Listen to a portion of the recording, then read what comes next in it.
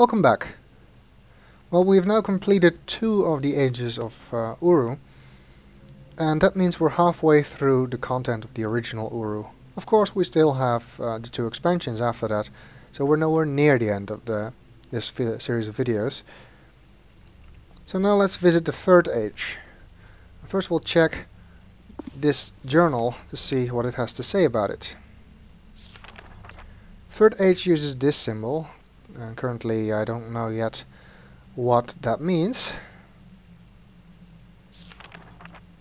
The age is called Kadish Tolesa. Only the way a man is when he is hidden is how he is.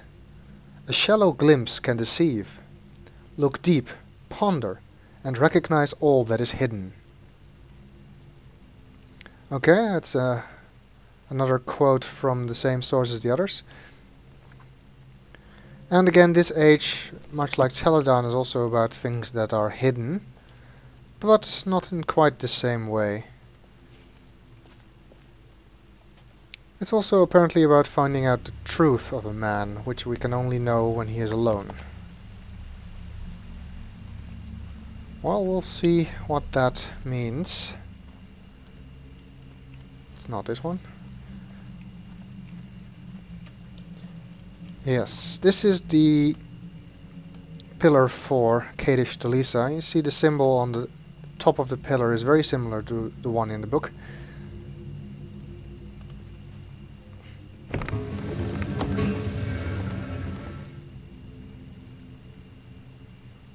So let's link there.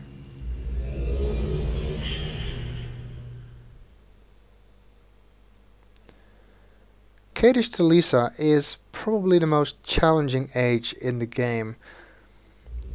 Not only do you have to deal with some pretty complex puzzles, but also with some pretty obscure clues to those puzzles. The beginning of the age is visually the most disappointing, I think. It's supposed to be a forest, but I don't know. To me it could just as easily be a cave. But it's supposed to be a forest anyway. There's some leaves on the ground and leaves falling down, so that at least looks like a forest. We see at the beginning we can go uh, either left or right. We'll go uh, left first.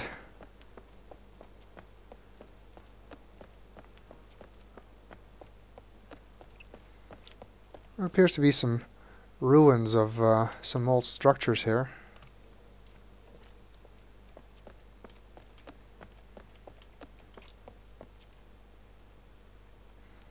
More ruins.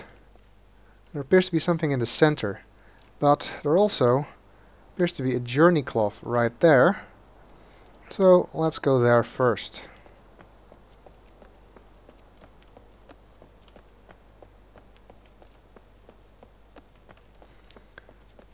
Careful not to uh, fall into the gap. And there's the journey cloth.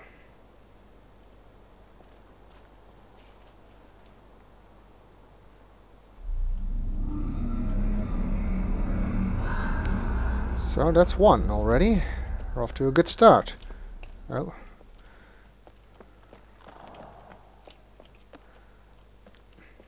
I'm getting stuck behind the pillars a lot.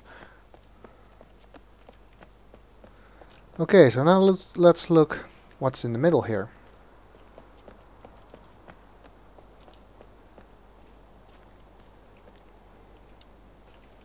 First thing we notice is this. It's a viewer, much like the ones uh, we've seen before and inside are a number of rings with all kinds of metal protru protrusions coming through. And by using these controls we can rotate some of the rings. You notice that this one rotates only one ring this one rotates two of them and this one rotates three simultaneously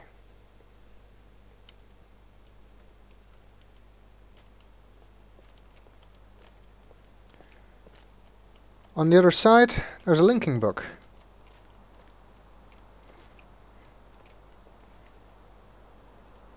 Oh, let's see where that leads. It's apparently a DRC approved linking book. Now, following the pattern of linking books we've seen in Ages so far, this probably leads to somewhere in D'ni. Most likely in Ae'gura. And that is in fact the case.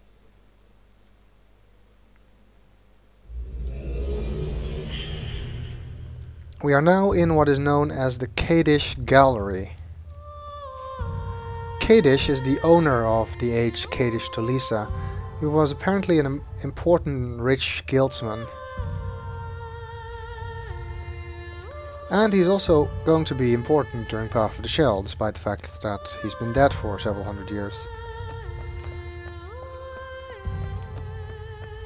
We go this way, we find we're stuck, we cannot cross these barriers, so there's nothing to be found on this side. Oh, let's look around in the gallery itself.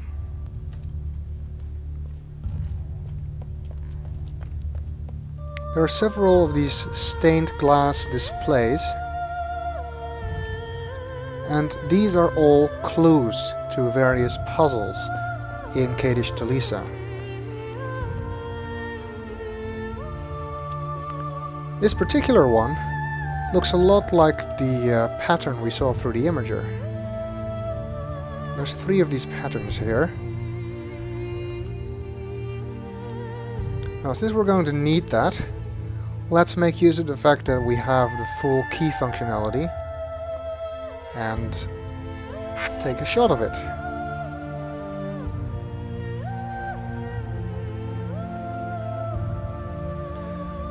Okay.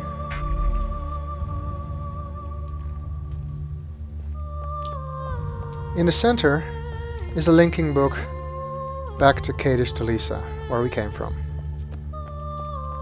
Well, let's look at some of the other stained uh, glass displays. Really isn't very clear yet what these are for, because we haven't seen the puzzles yet. Not since it's a foregone conclusion that we'll need all of them. Let's take some more pictures.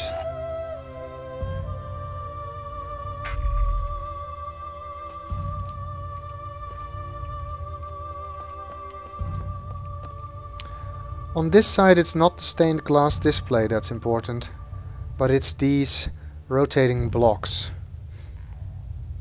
We see that each block has three symbols on it, and there's numbers below them. This means that each of the symbol symbols is associated with a number. And we're going to need that information later. Of course, in actuality, you would need to take uh, a shot of this, uh, the blocks in each position so you have all the symbols. I'm just going to take one uh, shot and then refer back to it uh, later just to point out where the, the puzzle is for this clue.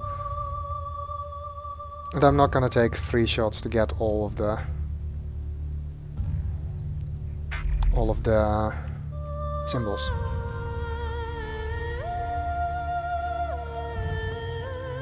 I want to point out this music. It's well, probably my favorite music in the entire game. Perhaps even my favorite uh, music in the entire Myst series. And that's pretty high praise. Another stained glass display, which we'll take a picture of.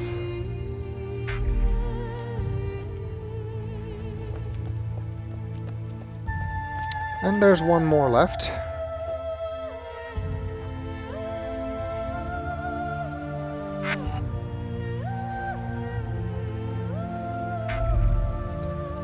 No clue what this is all what this all means yet. The only one we can actually do something with right now is this one with these symbols, because that looks like the imager we saw. Okay, well, let's use this linking book to head back to Kadish Tolesa. There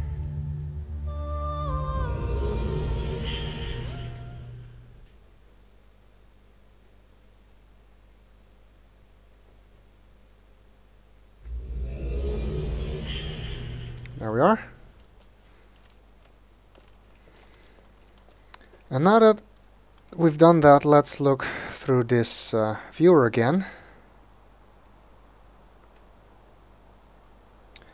And it's going to be our goal to get this to match up to one of these um,